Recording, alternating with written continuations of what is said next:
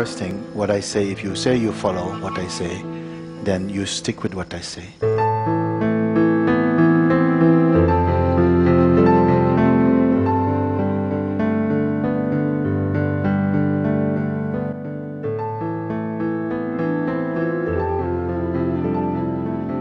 I was in Ramana Ashram and I was in, in the in the meditation room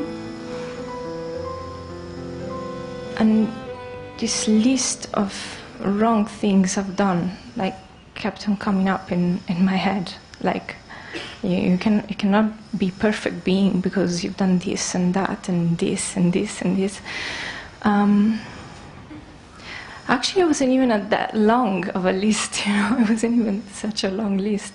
But there was a moment that I just felt, just let it all come, everything, just everything, everything. Like I followed your instruction just to, okay, all of this, and there was just I, I was okay about it somehow. There was a sense, okay. And So you want to ask a question about something? I guess it just, I don't even want to try why I'm talking. I,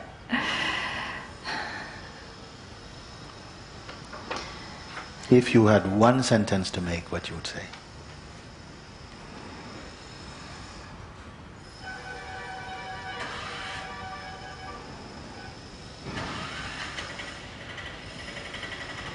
There is a question because it was seen that all the I- it was seen very clearly this play of following the following the mind, you know, being in this state of I am and presence, and then constantly like going back, going back, going back, and then no, and then.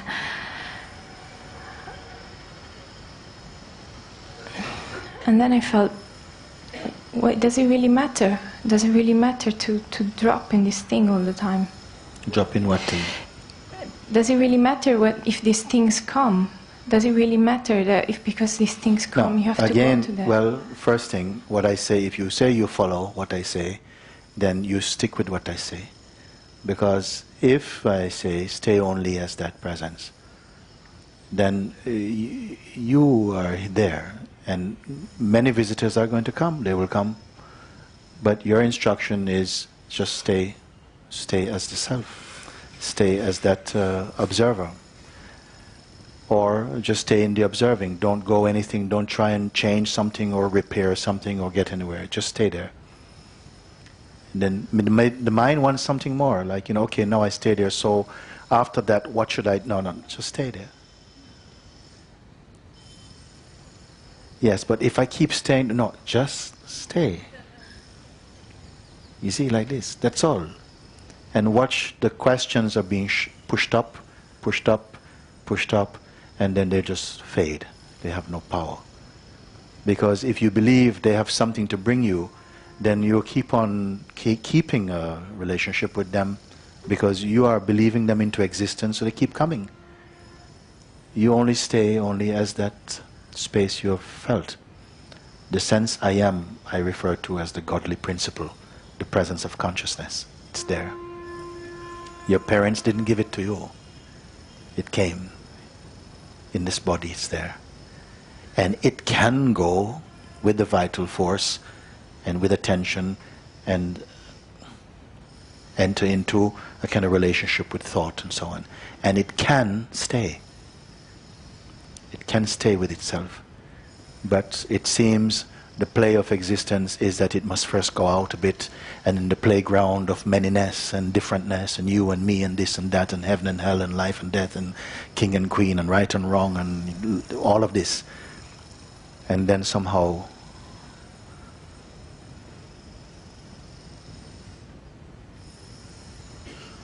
that's it. And then heaven and hell and right and wrong and then that you and me and then and then and when and what uh, and it's okay now It- it's okay it's okay before heaven and hell and right and wrong and you and me and this and that and that and this and that. And now it's okay. And then, and then,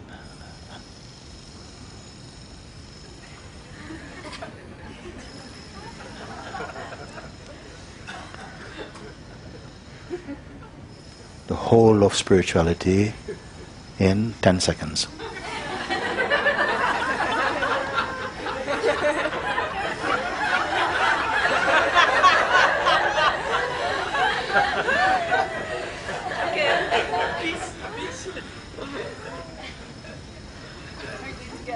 Huh? Uh, no.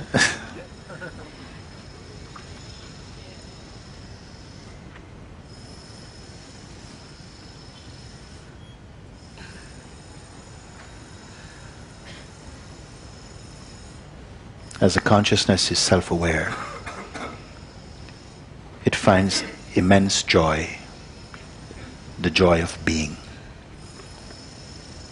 It can even enjoy the joy of becoming,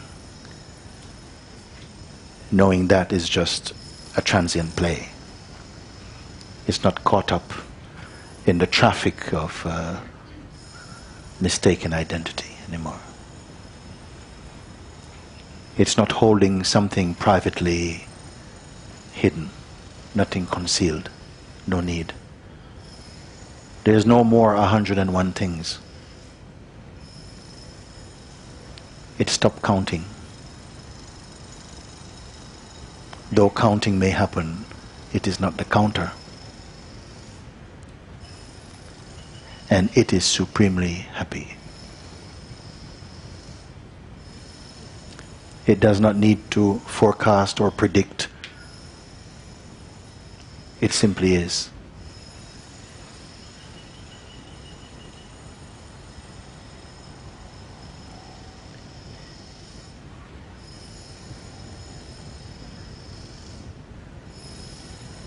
And some call this the embodiment of the Supreme.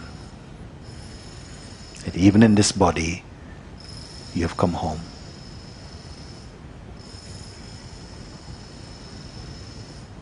Some say that uh, uh, a human form is most auspicious incarnation because in this form consciousness can contemplate itself it is not so easy if you are a donkey, okay, or a worm, or a mosquito. In a human body, consciousness is also in those forms, but in the human form, it can have satsang. It can contemplate subtle truth. It can reflect upon its original nature, and it can merge again uh, the mind into the heart. And yet, it's the most challenging also expression of consciousness it can seem. That it say that when in the human being the consciousness remembers itself, then they say all the heavenly beings they are happy. They want to come and be in the presence of that one. Because it's not easy in this form because so sophisticated is the consciousness to diversify itself, you see, and then to get lost somehow in all the veins of manifestation, and so to return again to unassociated consciousness. It's rare. So even the impulse, the pull towards coming home is called auspicious. Much less the recognition and the conscience abiding in itself of consciousness.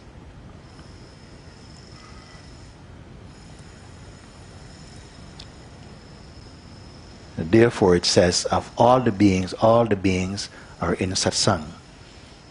They're in the stream of satsang. Even the mosquito is in the stream. Because the true evolution of uh, sentient beings is an evolution to uh, emptiness, to consciousness, not to somethingness. You see, this is the pull. And it can take a very long time in this movement and then to find something that comes back simply to here.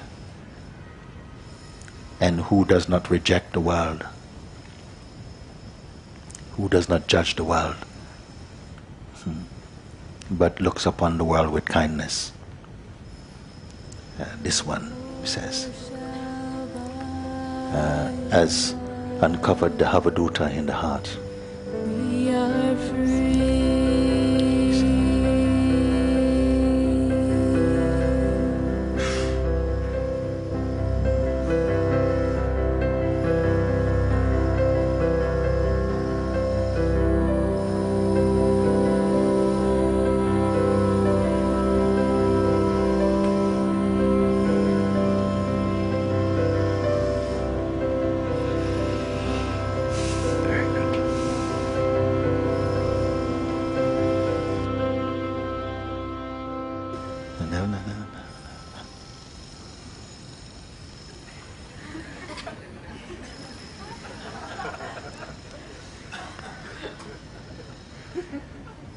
The whole of spirituality in 10 seconds.